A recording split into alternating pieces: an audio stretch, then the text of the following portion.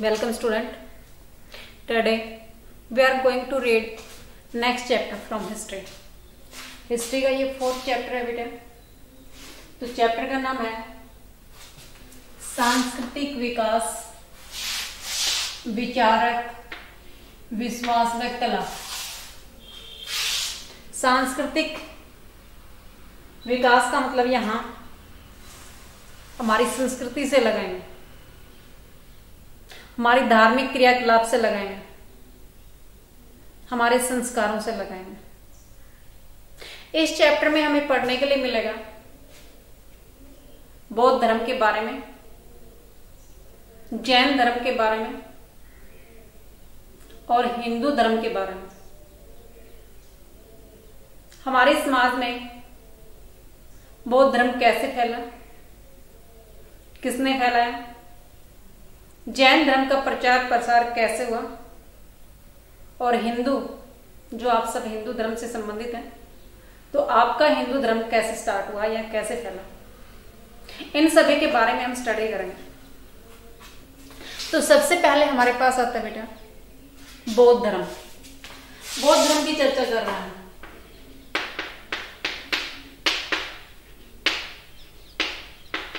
बौद्ध धर्म का जो संस्थापक था वो महात्मा बुद्ध था।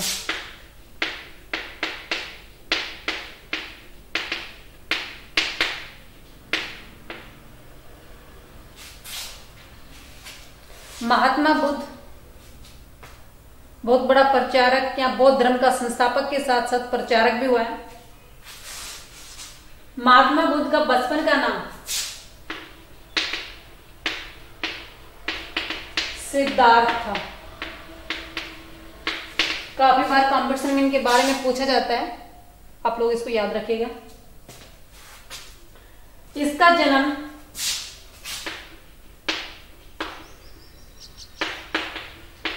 लुम्बिनी में हुआ था।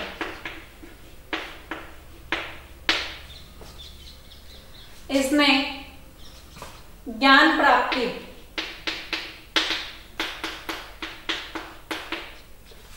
गया। जो कि बिहार में पड़ता है।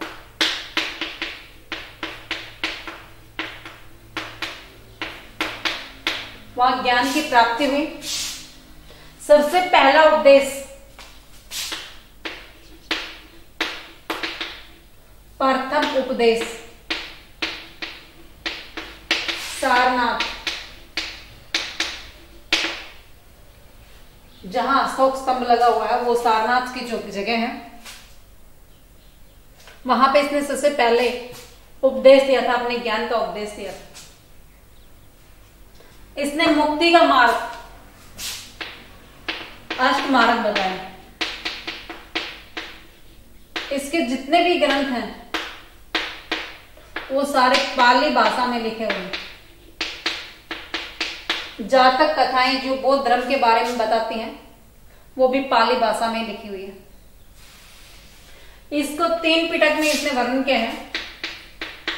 त्रिपिटक। अभिधम पिटक।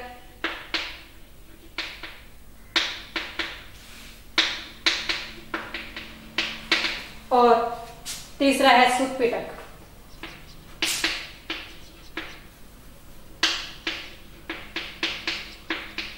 जिसके अंदर बौद्ध धर्म की चर्चा की जाती है। ओके इसके बाद आगे आता है बेटा। बौद्ध धर्म का प्रचार प्रसार कौन करते थे?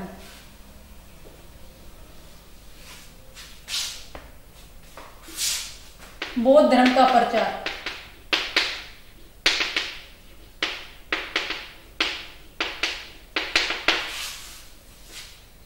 बौद्ध धर्म का प्रचार करने वालों को। भिक्षु। या भिक्षु ही बोला जाता है।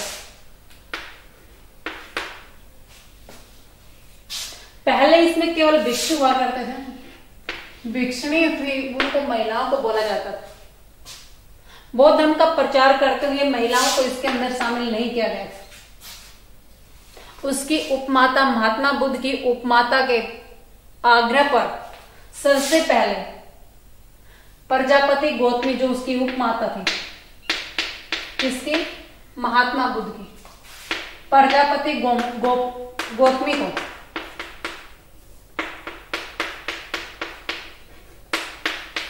भिक्षुणी का दर्जा दिया गया था। सबसे पहले महिला के रूप में उसको शामिल किया गया। बौद्ध धर्म हमारे भारत में ही फैला भारत में भी फैला बट दूसरे देशों में भी।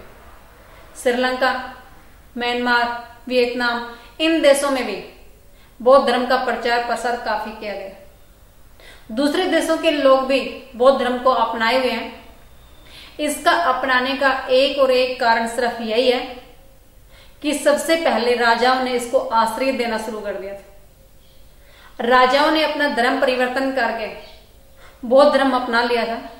उसी का अनुकरण करते हुए दूसरे लोगों ने भी बौद्ध धर्म का अनुसरण करना शुरू कर दिया। भिक्षु और भिक्षुणी इसका प्रचार प्रसार करने के लिए विदेशों में जाते थे। जो राजा अशोक हुआ है, चक्रवर्ती अशोक, जो महान राजा हुआ हुआ है, जिसने सारनाथ के अशोक स्तंभ को बनवाया है और सारनाथ के अशोक स्तंभ से तीन शेरों की मूर्ति जो हमारे कागज़ पे, नोट पे छपती है, वो अशोक स्तंभ से ली गई है। वो उसी अशोक ने बनाई है जिसने बौद्ध धर्म, जिस राजा ने बौद्ध धर्म अपनाया था। ये वही राजा अशोक है जिसने कलिंग युद्ध को छोड़ दिया था। उस राजा अशोक की पुत्र और पुत्री, पुत्र महेंद्र और पुत्री संगमित्रा, श्रीलंका में बौद्ध धर्म का प्रचार प्रसार करने के लिए गए थे। परंतु थोड़ी सी इसमें लैक्सिस भी रही है, क्योंकि भिक्षुणियों की एंट्री करने के बाद लोगों में जो भिक्षु और भिक्षुणी साथ काम करते थे, उनमें कुछ लग्जरी लाइफ जीने के लिए, जीवन का आनंद लेने के लिए इस प्रकार के विचार उनके परिवर्तित होने लगे थे। ये अहिंसा के पुजारी हुए किसी को भी हिंसा जीव जंतुओं की किसी प्रकार की हिंसा उनको सहन नहीं होती थी। महात्मा बुद्ध की मृत्यु के बाद बौद्ध धर्म दो भागों में बट गए। हीनयान और महायान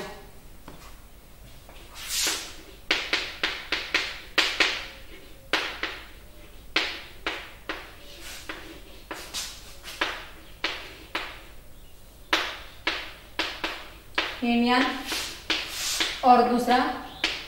महायान हीनयान महान महात्मा बुद्ध की विचारधारा का अनुकरण करने वाला था, अनुसरण करने वाला था, और महायान जो इसकी शाखा थी, उसने बौद्ध धर्म की मूर्ति, बौद्ध महात्मा, बुद्ध की मूर्ति बना दी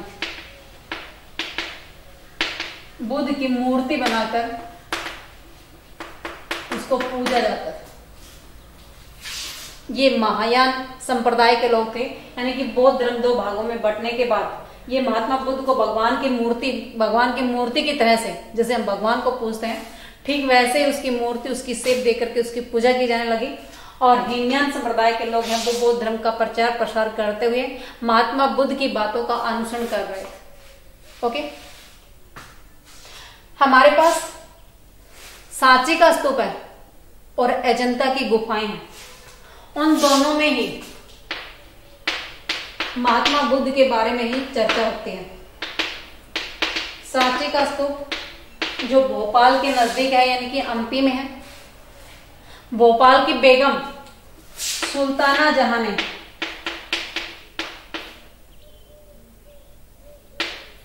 सुल्ताना जहाँ ने इसका संरक्षण किया।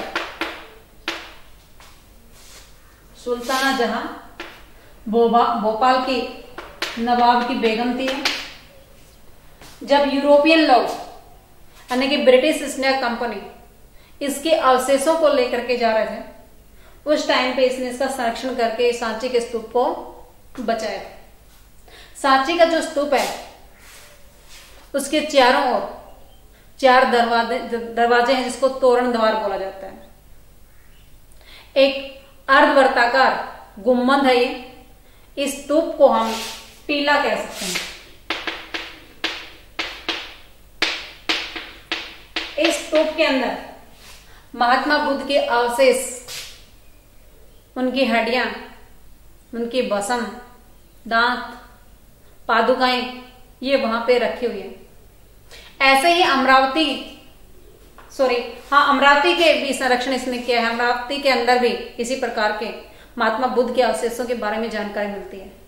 और अजंता की गुफाएँ, गुफा है, पर्वत को काट करके बनाई हुई है। उसके अंदर सारी जो चित्रकारी है, कलाकारी है, वो महात्मा बुद्ध को समर्पित है।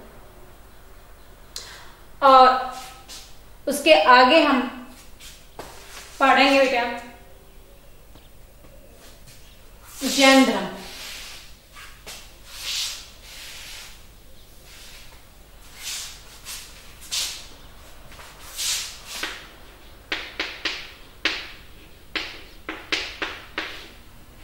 जैन धर्म के चौबीसवें तीर्थकर हुए हैं।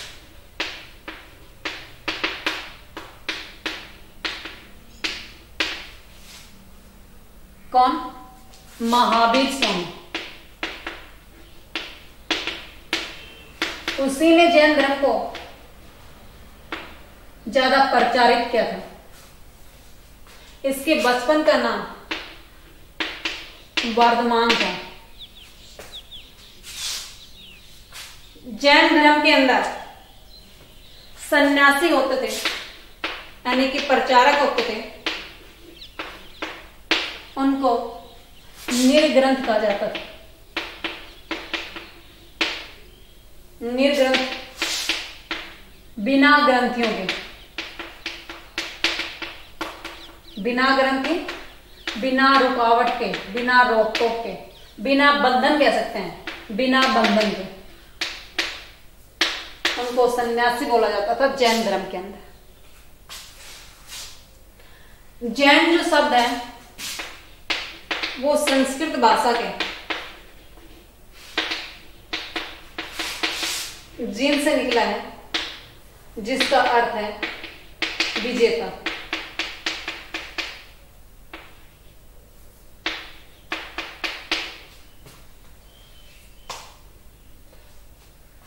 जैन धर्म जैन धर्म के तीन रत्न को ज़्यादा विशेष माना गया है।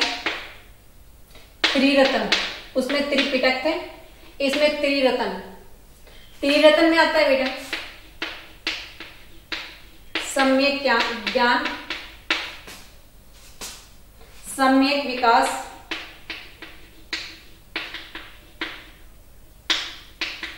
और तीसरा आता है। सम्यक चरित्र। ये त्रिरत्न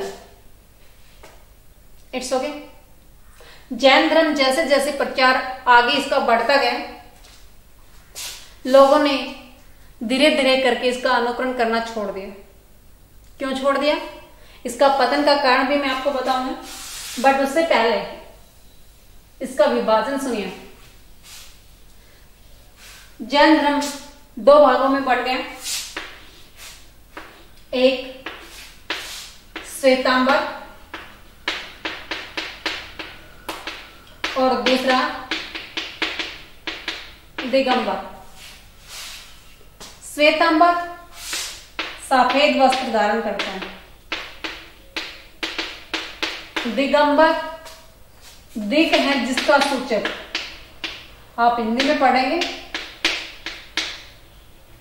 तो आप इसका संधि विच्छेद भी करेंगे। दिक प्लस अंबर। दिक में दिशा है जिसके अंबर। दिशा है जिसके अंबर। अंबर में कपड़ा। इट मीन्स ये नंगे रहते हैं, जिसको नागा बाबा बोलते हैं। ये दिगंबर होते हैं। ये जैन धर्म काफ़ी प्रचार प्रसार इसका नहीं हो पाया था। इसमें बहुत सारी कमियाँ थी। सबसे पहले तो ये थी कि इनका जो नियम था वो काफ़ी कठोर था। किसी भी जीव को नुकसान नहीं पहुंचाना, ये बात तो ठीक है। बट उसके साथ को हमारी सांस के साथ कुछ जीवाणु हमारी बॉडी में अंदर चले जाते हैं, जो हवा में होते हैं। उनकी भी रोकथाम करने के लिए मुँह पे कपड़ा बांधना होता था। पाँव के नीचे कोई जीव ना आ जाए, ना मर जाए, इसलिए नंगे पाव चलना होता था। इन्हीं सभी समस्याओं के कारण लोग इसका अनुकरण नहीं कर पाए और ज़्यादा लोग इसके साथ जुड़ भी नहीं पाए। ये जैन धर्म की कुछ कमियाँ थी।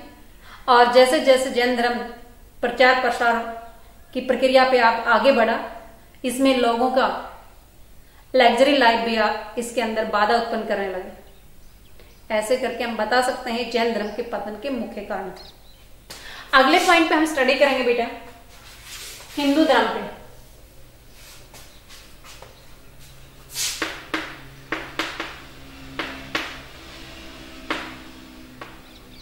हिंदू धर्म की स्थापना किसने की, कब की, कैसे की? इसके बारे में किसी के पास कोई चर्चा नहीं है। क्योंकि ये सबसे पुराना धर्म हमारे साथ जुड़ा हुआ है। बट बौद्ध धर्म, जैन धर्म क्यों आ गया था? उसका आने का कारण भी यही था, हिंदू धर्म में कुछ बुराइयाँ आना। बट उसके बारे में चर्चा नहीं कर रहे हैं अब हम केवल हिंदू धर्म के बारे में चर्चा कर रहे हैं। हिंदू धर्म के अंदर चार वेद हैं। छह वेदांग है, आठ पुराण है, और इसमें मंदिर की संरचना, मंदिर स्थापत्य के लिए एक गर्भगृह होता है। इस गर्भगृह में भगवान की देवी देवता की पूजी पूजी जाने वाली मूर्ति रखी जाती है। इस गर्भगृह के चारों तरफ़ चौकोर कमरा होता है, उसके ऊपर एक चोटी बनाई जाती है, जो उसको शिखर बोला जाता है। हिंदू धर्म के मंदिर में ये इसकी विशेषता पाई जाती है। हिंदू धर्म में शैव और वैष्णव, इनका अनुकरण किया जाता है। शिव की पूजा करने वाले शैव और विष्णु की पूजा करने वाले वैष्णव कहा जाता है। हमारे समाज में या हिंदू धर्म में या ये कहें कि हमारे भारतीय कलाकृति है। अब हम कला पे चलते हैं बेटा। जो स्थापत्य कला शैली है, उसमें गांधार कला शैली है। गांधार कला शैली क्या है? गांधार ये वही गांधार है, जहाँ से गांधारी आई थी, यानी कि मध्य एशिया से। तो वहाँ पे यूनान भी उसी क्षेत्र में पड़ता है। तो गांधार कला शैली जिसके अंदर भारतीय और यूनान की दोनों शैलियों को मिला करके, दोनों डिजाइनों को, दोनों तरह की भवन बनाने की कला को मिला करके, उसको एक नई शैली विकसित की गई है, जिसको गांधार कला शैली बोला जाता है। एक मथुरा कला शैली, मथुरा कला शैली का उद्गम केंद्र मथुरा हुआ इसमें लाल बलुआ पत्थर से महात्मा बुद्ध, बौद्ध धर्म की, जैन धर्म की, या हिंदू देवी देवताओं की मूर्ति बनाई गई है। ये उसी कला, मथुरा कला शैली में विकसित की गई it's okay your chapter has been finished